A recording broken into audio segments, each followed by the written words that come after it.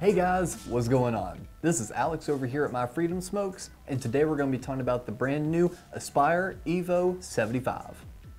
Now, I do have to say that uh, I was a Kanger fan for the longest time. Uh, the Top Box Mini was my absolute favorite mod for the longest time when it came to an basically an all-in-one um, sub-ohm starter kit that's good for both veteran users and newbies.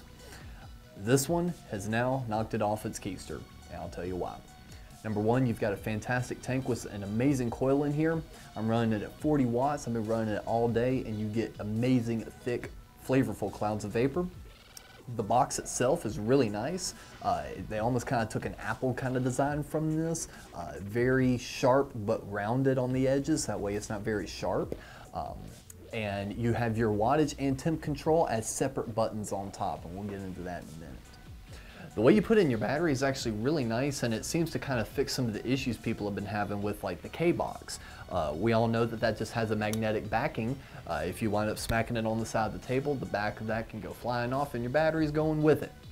With this though, it's self-contained in this own little section right here, like so.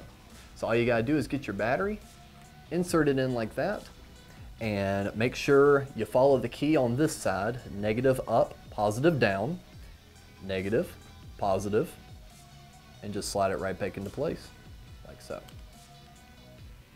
It's hard to do when I'm having to hold it right out in front of me like this. Boom, just like that. And it's ready to go again. The tank is top fill, most like a lot of other uh, tanks coming out nowadays, which I'm really happy about. The top fill makes everything so much easier. So when you get to that is you just unscrew the top here. Like so. Fill up the liquid against the side. Pop the top right back on and screw her back on down. Now, of course, same thing with any other tank and any other coil. Uh, since it's gonna be a new one, let it wait about five, 10 minutes before you try using it. Otherwise, you're gonna get a really bad burnt taste. Liquid's gonna turn dark and you're not gonna like it. You're gonna say it's defective, but it's not. You just needed to wait on the coil.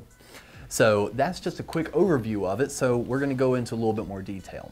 Uh, as I mentioned earlier, the coil in here is running at 40 watts, and I believe it even says that you can go a little higher than that. It says recommend between 40 to 50 watts, and it's a 0.4 ohm coil. Uh, usually I stick with the 0.5s. I don't notice a big difference with this 0.4 other than the fact you get amazing flavor out of this. That was the one thing I really liked about Kangers is, you know, not only did you get really good vapor production, but the flavor was good too.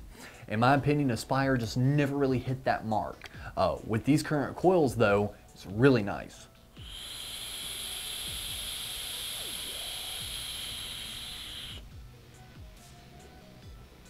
Like I said, nice, good, thick clouds and amazing flavor.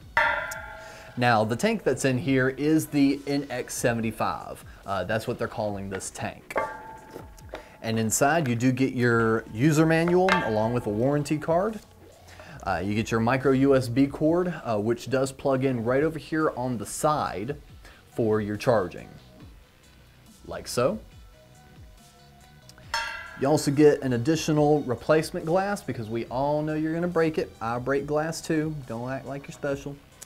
And it also comes with one more additional Atlantis Evo coil. Uh, this one is a 0.5 though. Uh, so I'll probably be trying this one in the next few days to see how that works. But the 0.4 that comes preloaded works really, really well.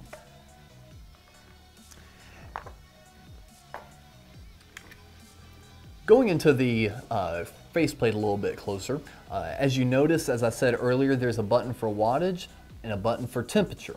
The cool thing about that is when you turn on the device, you can press wattage switch between your voltages, wattages, and your different uh, save settings. When you hit the T, it's going to ask if it's a new atomizer. I'm not going to go into the full details, uh, that way it doesn't confuse this.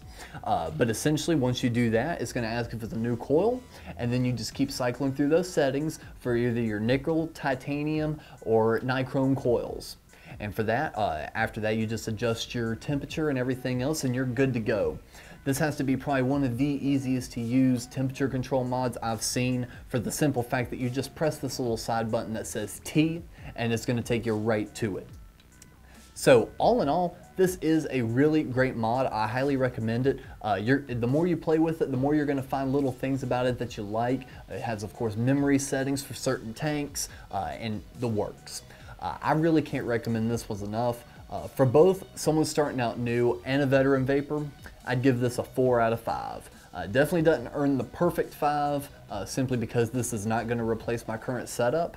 Uh, but you know what? This is my backup now. Uh, my Subox used to be my backup. This is now my backup. So again, it's the new Aspire, make sure I'm calling it right, the Evo 75 kit and highly recommended. Check it out at myfreedomsmokes.com. And while you're there, also make sure to check out our Facebook, Twitter, and Instagram pages. We love chatting with our customers, so make sure to follow along and uh, have some fun with us. And until next time, thank you for vaping. Boom.